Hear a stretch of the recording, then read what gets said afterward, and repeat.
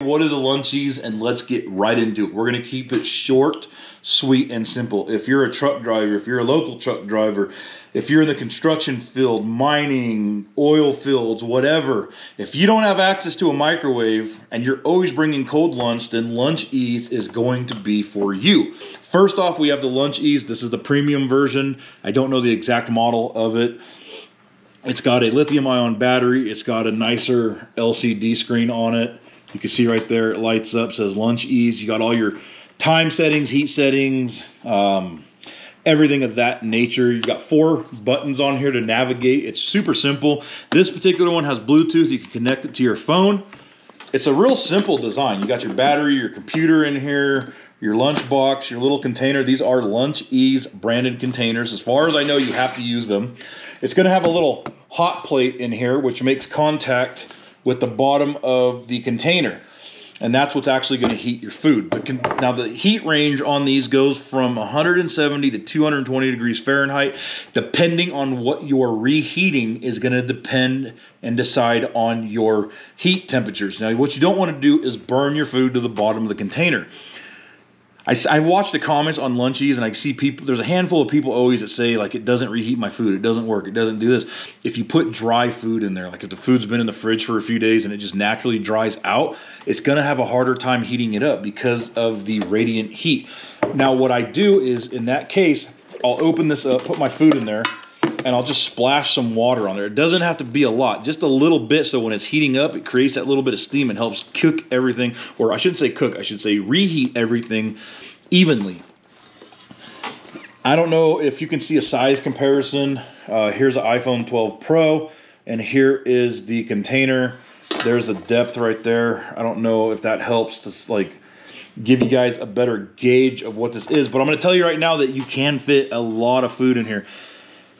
Uh, I went and got Chinese food with two, like uh, the chow mein, fried rice, and then two sides. I could actually cram everything in here. Now, when you cram stuff in there like that, you might need to make it heat up a little longer.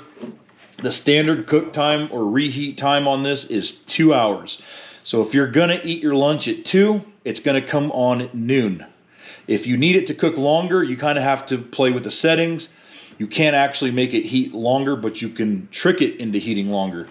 If you tell it you're going to eat at 1 o'clock, but you're going to eat at 2 o'clock, it's going to come on at 11 and it's going to heat for 3 hours. If you set it at 10, it's going to think you're eating at noon. But if you eat at 2, that's actually 4 hours. By then, your battery probably will be depleted depending on the temperature setting. This thing is supposed to run around 4 hours, give or take.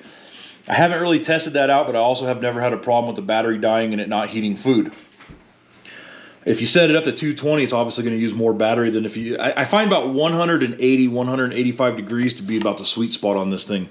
Now they do make a model that is below this one that has like your basic numeric LCD screen, still the same settings but without the Bluetooth. If, what I do is I put all my food in here, and I do things a little different. Once in a while, I bring bring leftovers. If I could speak, I bring leftovers and reheat them. I'll set it to come on two hours, hour and a half before.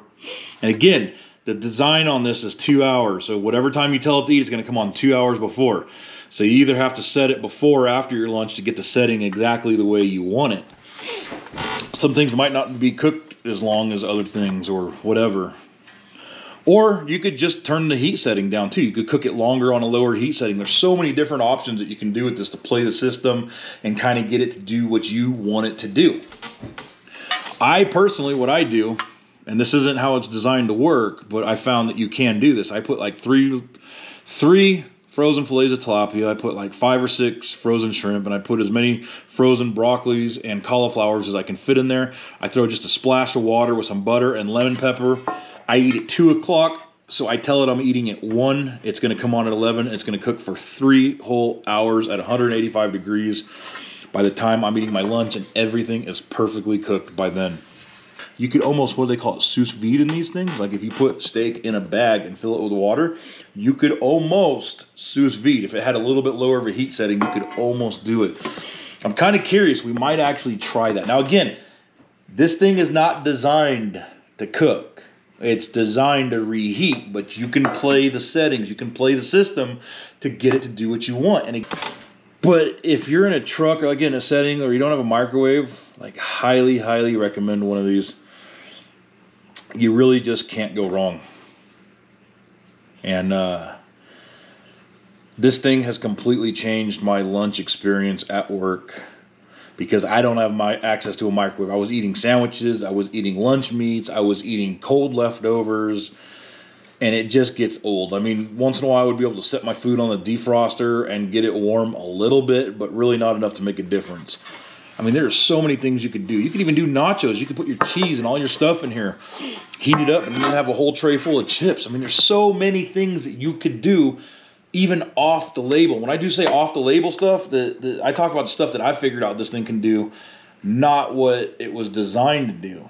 And that's just how my brain works. Is I'm like, how can I get the most out of this thing? And honestly, for the money, this thing has paid for itself time and time again. But just the amount of money you save by being able to bring that hot meal. You're not going in pilot. You're not stopping at the gas station.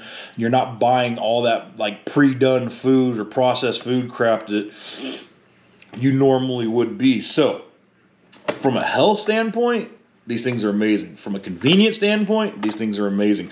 I'm gonna rate this thing a solid 9 out of 10. Also, again, the insulated lunchbox is a must in my opinion, or some type of insulated lunchbox. I recommend all the Luncheaze products and accessories. I used to have the silverware and the little cooler pack but I did end up leaving that in a rig at work, and I don't know what I did with it. I got to order more. I'm also going to be ordering more of these containers. I have two of them. I have one for my food, one for my snacks. I want to get about five more of them so that way I can meal prep. I can go ahead and get everything ready. And with the way I do my meals, I can just leave them in the freezer and go ahead and pull them out the night before. So maybe they can thaw a little bit. And the benefit to that is everything stays cold.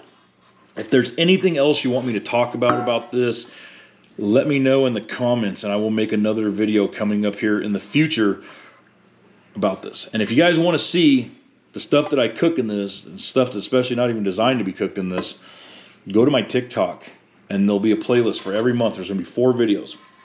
I'm to show you what I have for lunch. Um, this month's videos are to be really interesting. So go ahead and check it out.